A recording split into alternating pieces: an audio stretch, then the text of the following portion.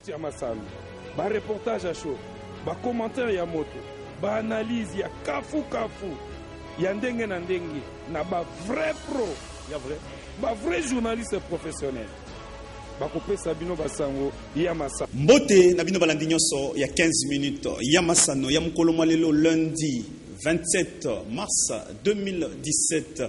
Tokoyeba na kolobela oyo etali ba leopard. Boyebi ete mokolo malobi bakweyaki makalekale liboso ya Kenya oyo etali match amical, mpe tokoyebisa bino arrive deja ya ba leopard na engumba mokonzi Kinshasa, baza deja awa mpe baoyo esengeli bakende na ba club na bango na poto basi kokende. Ezali information oyo tozwi deja epa Team Media.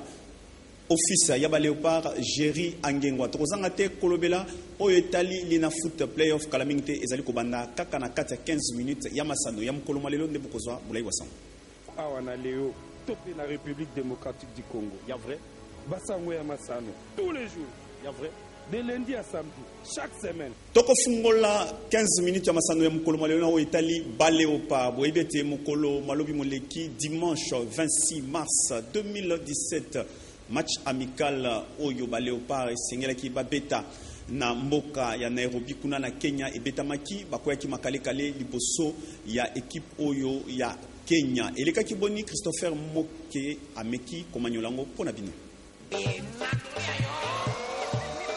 Mokolo mwa lobi loleki dimanche 26 mars 2017, lisanga ya ba Leopards ya rdc ebetaki match ya amicale na lisanga ya ba Harambee Stars ya ekolo Kenya, kuna na mboka Kenya. Lisano lyango ezalaki nde na kolandisama na ba preparatifs ya Leopards mpo na eliminatoire ya Coupe du monde 2018. Kasi ezalaki nde benda bika lisano lyango mpo tomonaki lisanga ya ba Harambee Stars ya ekolo Kenya oyo bayebaki kofongola nzela ya Mingete na sixième minute ya première mi-temps na lisungi ya mobeti Michael Onga mpe lisanga ya ba Leopards ya rdc bayebaki bongo kozongisa mongete moko na moleka ya mibale to deuxième mi-temps na lisungi ya mobeti Gael Kakuta na soixantième minute. Kasi na septante et unième minute, mobeti Michael Onga ya ekolo Kenya ayebaki lisusu kobakisa mongete na filet ya ba Leopards, nde yango esalaki ete lisanga ya Barambe Stars ya ekolo Kenya ekweyisa bongo maka-lekale lisanga ya ba Leopards ya rdc Na mingete mibale na moko. Atako epesi mwa pasi na ba congolais nionso komona lisanga ya ba Leopards kokweya liboso ya ba Harambee Stars ya Kenya, kasi ezalaki nde mpo na coach Florent Ibenge nzela ya komeka ba joueurs misusu ya sika lokola mobeti Bijimine, Kashunga, Gael Kakuta mpe bongo na bongo.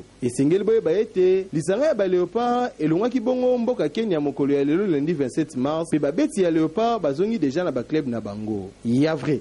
Tokolobela bongo oyo etali Linafoot. Bosengeli boyeba ete Linafoot na oyo etali playoff kala mingi te esengeli ebanda kasi oyo azali president ya Linafoot na kombo ya Jeff Kampondo ayebaki na kosangisa bapanzi sango mpe bapresident ya baclub oyo esengeli babeta playoff bayeba na koswana bango na oyo etali demarrage yango ekokende ndenge nini bolanda ndenge nini alobaki na micro ya 15 minutes ya masano Fanny atonga pe Aisha ndako cœur coach bazalaki wana. Club ezalaki beaucoup plus po bango na biso to essayer kobongisa championnat na biso ya playoff elekana na ndenge moko ya bien ba donc euh, ba trouble ezala te na stade Tosala en sorte que championnat eleka na malamu que ba club oyo eko, eko merite pona okende ko representer biso na Champions League na Confederation ezala ba club oyo bako merite. Et puis to rappelaki pe bango que playoff bato nyonso bazozela yango. Tosala en sorte que elekana na ba conditions moko ya bien pour ne pas amener ba autorites na biso hierarchiques ba suspendre championnat wana puisque soki ba arriver à ko suspendre championnat wana tozo risquer tozala na ba représentants te sur le plan international ou soit ba autorités na biso bakozala amener ba décider d'autorité ba équipe nini oko représenter biso à l'extérieur Oyo ekozala eloko moko ya bien te. Donc tosengaki bango basalisa biso tosalisana mpo championnat na biso eleka bien esuka mpe bien voilà. Dans un Alina Foot 22e édition kala mingi te boyebi ete ezali kokoba se kokoba tokoti sikoyo na phase oyo ya playoff tozali bongo na phase aller baimage oyo bozali komona wana ete bamatch oyo ekozala mine mpo na première journée oyo ezali bongo match oyo ekobetama na 13h30 na stade ya Mazembe ezali bongo Don Bosco mpe match oyo ekolanda ezali nde Mazembe mpe Daring Club Motema Pembe ekozala na 15h30 kaka le même jour match mosusu ekobetama bongo na Mbuji Mayi Chikisha ezali bongo Sanga Balende PV Club. Match mosusu ekobetama bongo na stade ya La Concorde, ezali bongo Bukavu Dawa pe FC Renaissance. Ba match wana ezali mpo na compte ya premier journée ya playoff oyo ezali kodemarre le 2017 tozali kaka na engumba Kinshasa, tika toyebisa bino ete match amical moko ebetamaki mokolo mwa lobi na stade de martyr ezalaki bongo DSMP pe MK ekendeki bongo 1-0 en faveur ya Daring Club Motema Pembe oyo atiaki bi yango ezalaki nde mbidi ezalaki esengo makasi mpo na bana ya Dora botala ba image oyo tozali kolakisa bino y'archive mpo ete mokolo mwa lobi tozwaki ndingisa te ya kozwa ba image wana kasi mikolo mikoya nsima tokolakisa bino yango Ndenge toyebisaki bino na ebandeli ya 15 minutes ya masano, mokolo mwa lelo ba Leopards basilaki kolongwa na mboka ya Kenya, bazali sikoyo na engumba mokonzi Kinshasa. Ba delegations nyonso ekomaki deja.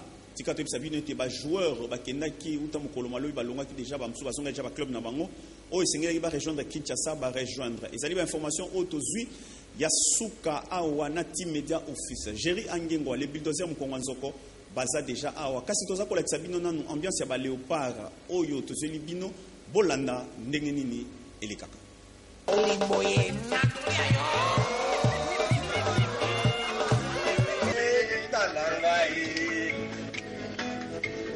na ngai akokosala ngo te kaka nelikya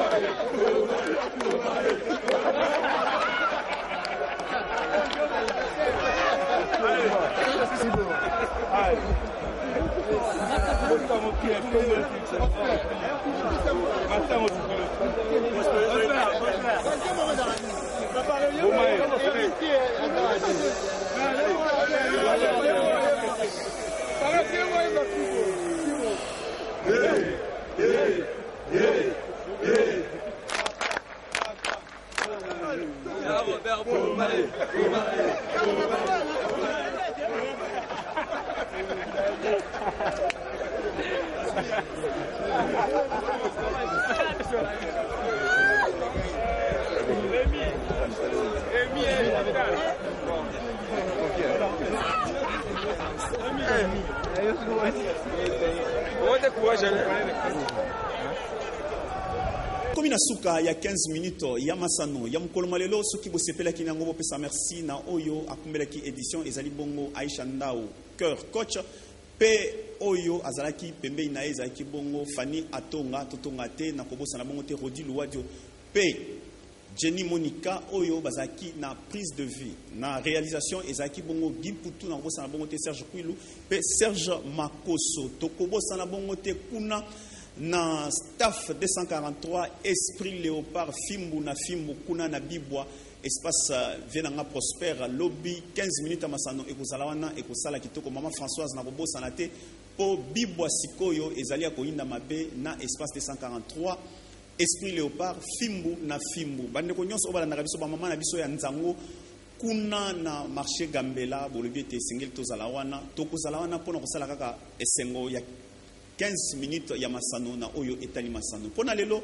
tosuki awa merci mpe na baoyo nyonso bapesaka biso confiance ya kolanda biso mpo na fibo na fibo tosengi kaka bandeko na biso boyeba nanu oyo azali kotya desordre na kati ya ekipe ezali nani mpo ete akobongisa fibo na fibo Ezali ecl club ya mboka. Tobongisa ekosala esengo makasi. Biso ba panzi sango toko accompagner bino mpo na promotion na bino. Boboto bo ndeko o mabota ma bino. Dimanche retro ya vrai.